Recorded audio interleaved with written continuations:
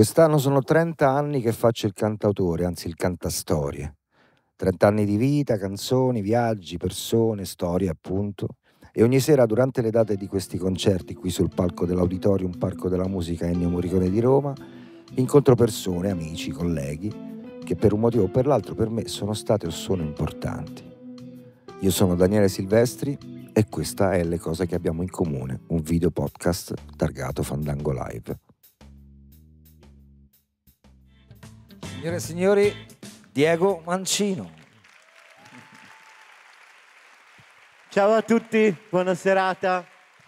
Non te l'aspettavi, eh? No, non me l'aspettavo. Molto divertente. Ed è solo l'inizio. Tra l'altro questo è, se è capitato, tra l'altro a Diego non gli ho proprio spiegato una sega No, non sapevo neanche di dover parlare con tutti voi. Ma neanche di dover venire. Mi scuso se magari chiamo un taxi e me ne vado per, perché sono molto timido. questo in cui ti trovi in questo momento è un talk, si dice così, che è anche un podcast, quindi poi sarà pubblicato, credo, se non metti in mezzo l'avvocato.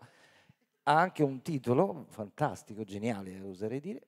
Ci sono voluti svariati autori per pensarlo ma soprattutto Diego la sigla. Ci tengo che tu ascolti la sigla. Vai.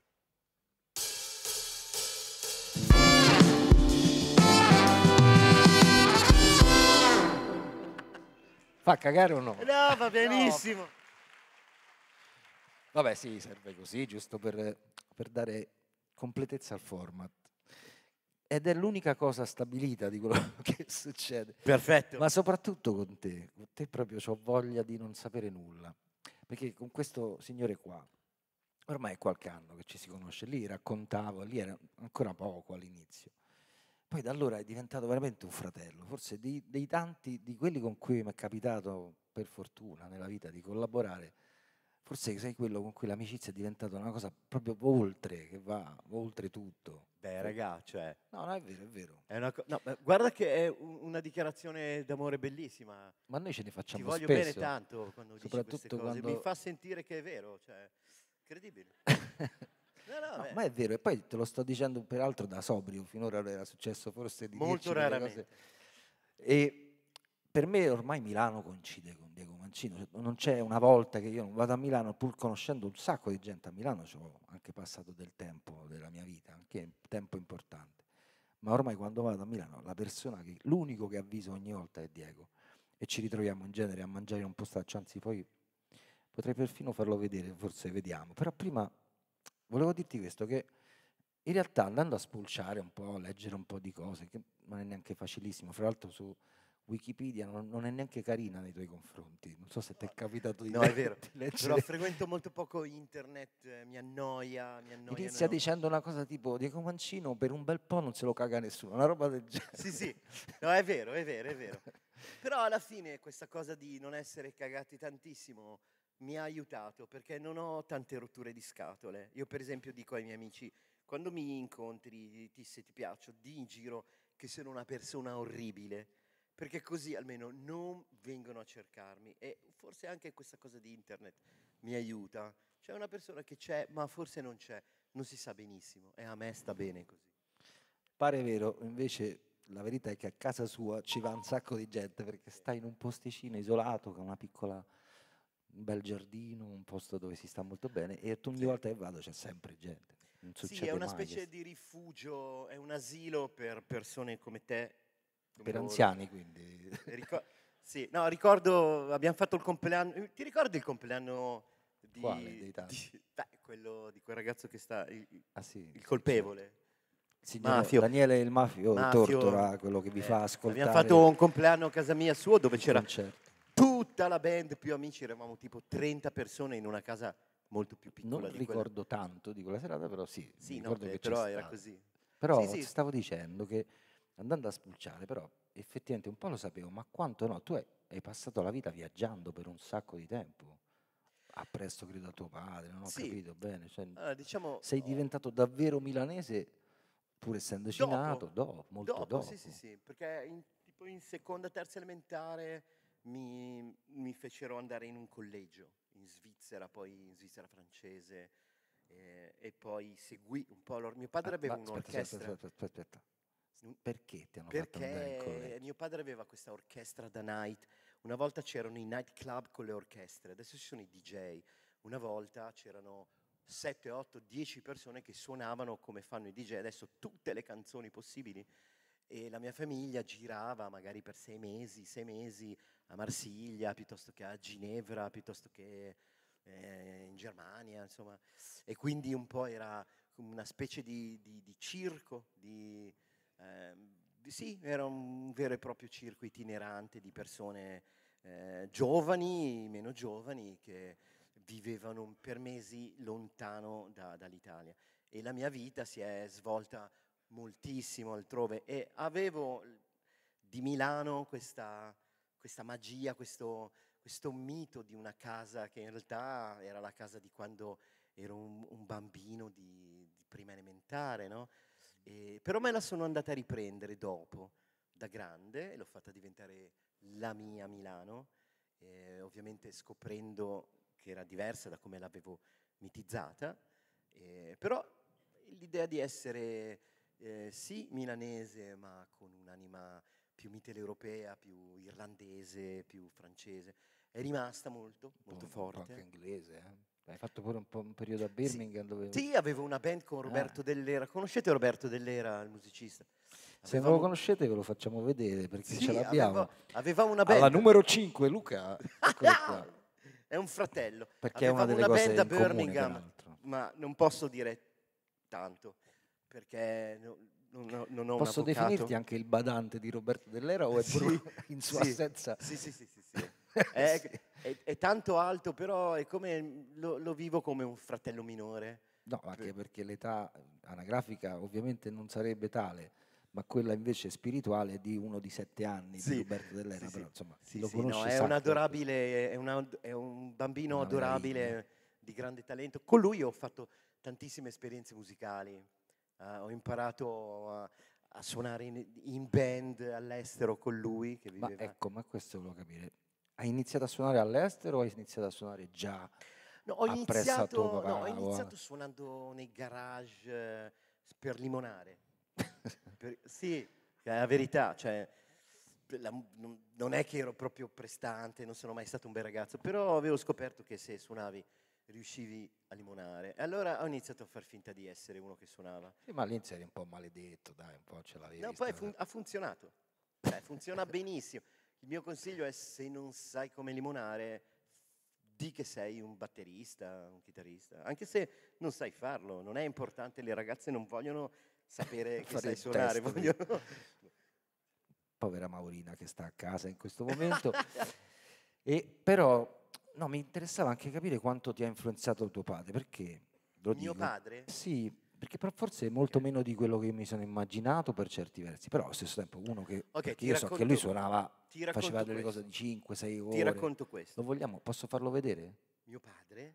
Mi, dai, mi mandi la 8, eroe d'epoca. Eh. Aiuto. Qui, se non sbaglio... Questo è mio i... padre! Come hai fatto a trovare e questa... questi sono i Valentino? No, delle... sono i Baby Luna. Ah, questi sono i Baby Luna. Sono i Baby Luna, lui suonava rock and roll e mio padre è quello in ginocchio sì, che sì. si sarà spaccato un ginocchio probabilmente, non so. Però sì, mi ha influenzato tanto, ma in realtà io non ho vissuto questo Beh. papà. Mm, quando mio padre su, è quello in mezzo, guarda che, che storia. Ma fantastica sta cosa. Beh, se vuoi, se vuoi hai anche vera- da- Adesso poi se- mi met- sei, sei Maria De Filippi? se vuoi ti faccio anche sentire i Valentino. No, veramente, tu hai, te l'ho detto nell'orecchio. No, no, lo so- l'ho trovato- l'abbiamo trovato. Ricorda Ah, che che, storia! ricorda che Eh sì. quello che a me stai facendo un belli rocchettari. Daniele Silvestri è il diavolo, lo sapete voi, cioè questa roba qua cioè, è, è veramente diabolica. Vai Luca, manda giù, manda giù. Però valeva la pena. Allora, eh, la verità è che quando ero molto piccolo, diciamo un bambino di terza elementare, eh, mio padre suonava nei night tutta la notte, io dormivo di solito nell'hotel sopra il night, per esempio a Marsiglia, così. Ma siccome non avevamo mh, nessuno che badasse a me, quello che succedeva molto spesso è che io dormivo sotto il pianoforte di mio padre. Mio padre aveva questo piano elettrico con una, una specie di coperta blu elettrica che arrivava fino, fino ai piedi, insomma. E io stavo là sotto con un tamburello e suonavo follemente questo tamburello finché non mi addormentavo nella copertina e nel cuscino. E vivevo lì praticamente, facevo anche le prove della band di mio padre che provavano tutti i giorni le nuove canzoni di classifica. E il mio posto era quello. E Sai, forse posso- ti interrompo solo per dirti che c'è un'analogia anche in questo, perché io pure dormivo sotto al tavolo su cui mio padre, che non ha mai suonato ma ha sempre scritto, scriveva, scriveva.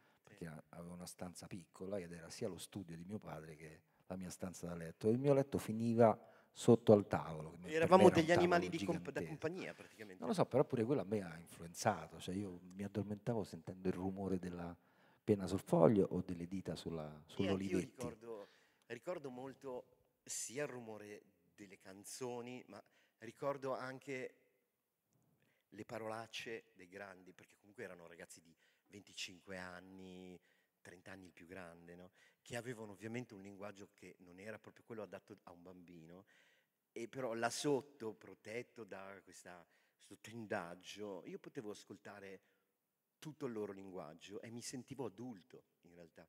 Non capivo le canzoni, non mi interessavano in realtà, mi piaceva tenere il ritmo, ma la cosa che mi piaceva di più era far parte del mondo adulto di, que- di quelle persone. E mm, forse i rumori della musica erano più che il suono, erano i rumori dei piedi, erano i rumori... de- Per esempio, per anni ero convi- sono stato convinto che i fiati fossero d'oro. Quando un giorno li vidi durante, di, di giorno durante le prove che non erano d'oro, io fui scioccato perché pensai, ma come? Ma non è d'oro questo sassofono, non è d'oro la tromba. Forse quello è stato il mio primo shock, però io per tanti anni credevo che fossero d'oro gli strumenti e che i rumori dei piedi, i rumori de- de- di- delle code, proprio del- della materia degli strumenti, fosse quella la musica, diciamo. Eh, Un po' lo è, in un certo senso. Un po' Sì, un po' lo è, un po', un po' lo è. Un po' come se pensassimo che il rumore della macchina da scrivere forse sono le parole stesse, no? Sono più il rumore che fanno. Sì, anche nel- la mia associazione è quella, cioè di me bambino è, quella, è molto così.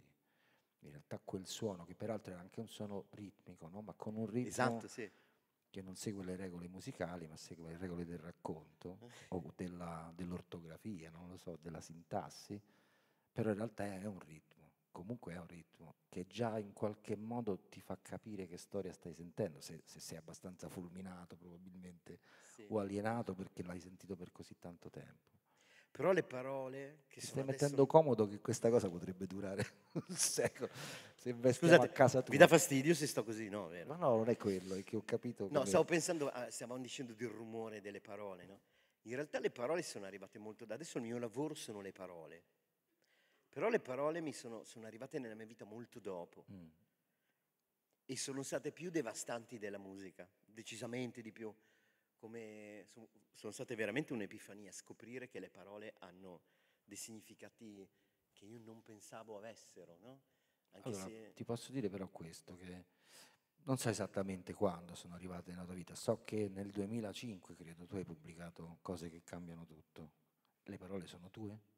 Eh sì, Quando io ho sentito quella canzone, quel disco, ma quella canzone in particolare, fra l'altro merito di Lisa, che sarebbe la prima immagine che avrei dovuto far vedere come cosa che abbiamo in comune, quella che ci ha fatto incontrare, che è, che è mia moglie Lisa, ma non, non, non sti cazzi adesso di questo, ma quando ci ha fatto sentire lei per la prima volta cose che cambiano sì, sì, tutto, lo so. quello che è arrivato a me era qualcosa che non avevo ancora sperimentato, cioè un modo di dare un peso alle parole che io non ho forse mai trovato. Sì, mi, Ah, mi vengono in mente degli esempi singoli di alcuni, di, di alcuni anche o grandi cantatori o grandi cantanti, tutti di un bel po' di tempo fa, perché tu hai un modo, secondo me, espressivo, oltre a essere una delle voci più belle, proprio secondo me, che, che su questo suolo, ma il modo in cui riesci a dare peso alle parole che pronunci certe volte per me è stato comunque di insegnamento negli anni. Ah, una bella e non cosa, l'ho trovato grazie. molto spesso. E infatti questo signore che, nonostante appunto secondo me non dovrebbe fare altro che cantare ed essere chiamato a cantare ovunque, però poi ha trovato una sua dimensione nel diventare uno degli autori forse adesso più cercati. Sì, è è stato, non è così tanto, in realtà ho iniziato a fare veramente l'autore, ehm, diciamo, intorno ai 40 anni, Mhm. ok? La, Ne mo- dici un po' di quelli però per- con cui hai lavorato, per cui hai scritto? da- da- ok, tu, cioè, sono No, tanti. tutti no, dinne Diciamo, la prima... 78 Ho iniziato la prima canzone proprio che mio, ai tempi avevo come editore Klaus Bonoldi, che è un editore, uno dei più illuminati probabilmente.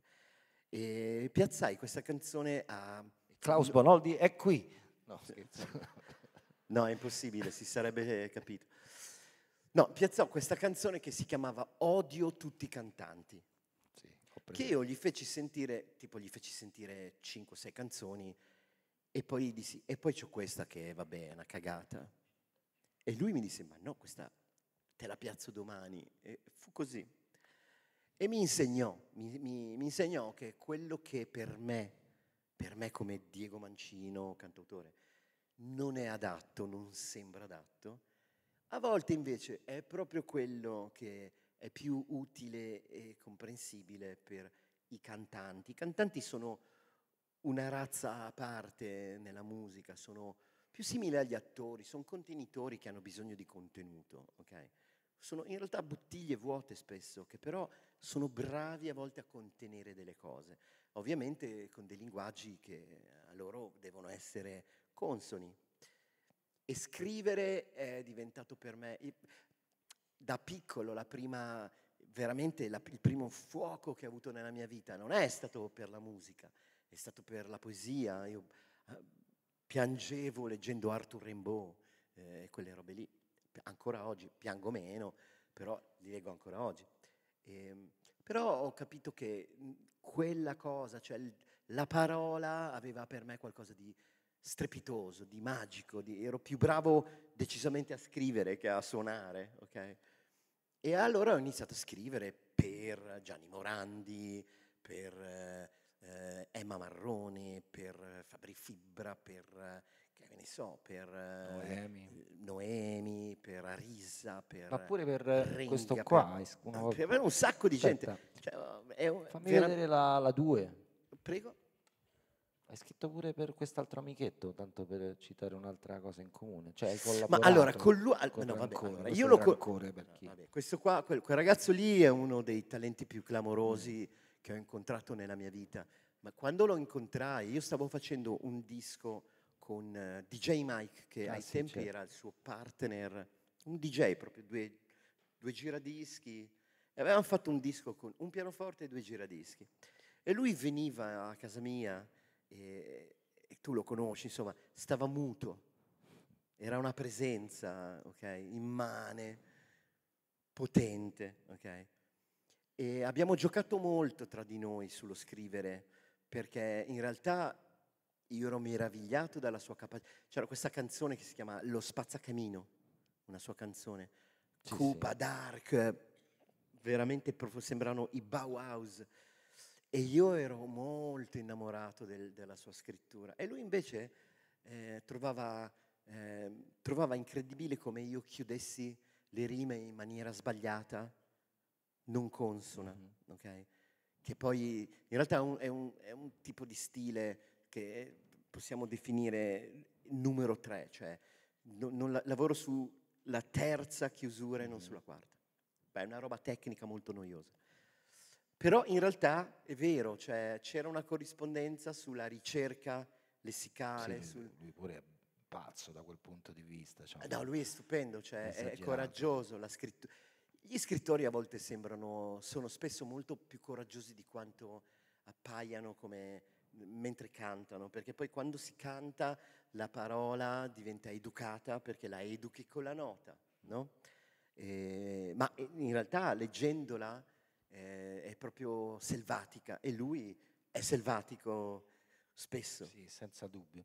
Senti, siccome io ho una voglia pazzesca di, fare, di suonare una, una roba con te, prima di chiudere parte, vabbè, avrei voluto farvi parlare anche, per esempio, della numero 7, che sono altri amichetti che abbiamo in comune. Anche loro, pur essendo brasiliani, per me Oh! sono Milano, che sono i Selton. Sì, i Selton. Oppure avremmo potuto far vedere la 6, che sono sempre i Selton, insieme a noi nel postaccio in cui andiamo a mangiare a Milano. Ah, qua è dove andiamo a mangiare, sì, peruviano. dai peruviani.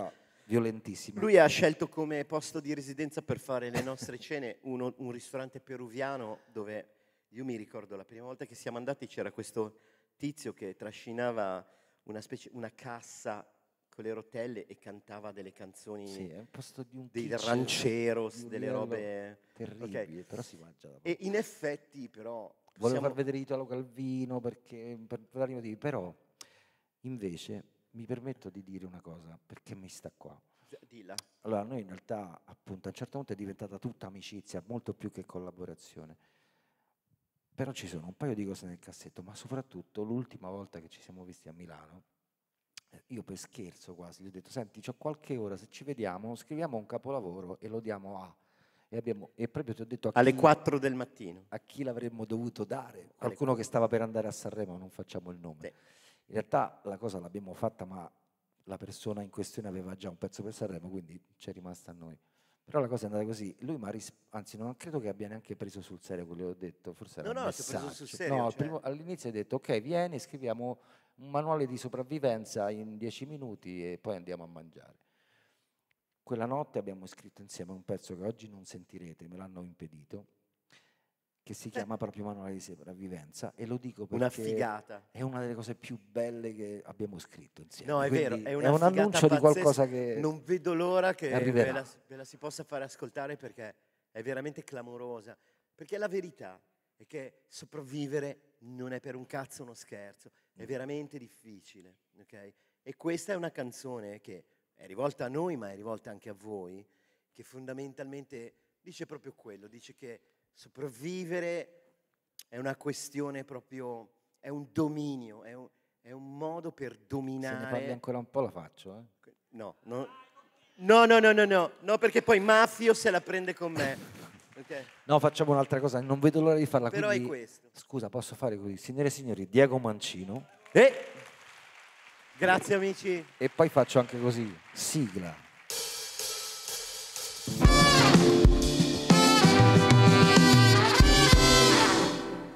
Siamo liberi Oh, hai visto? Ho fatto dal anche podcast. ho fatto Ho anche il visto, ho visto. Facevo finta di no, ma l'ho visto. Eh, allora, io